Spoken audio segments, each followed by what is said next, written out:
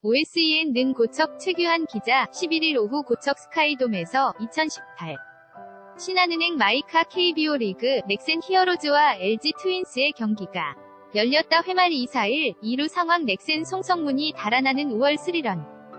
포를 날리고 세리머니를 하고 있다. 슬래시 DREAMER 골뱅이 OSEN.co.kr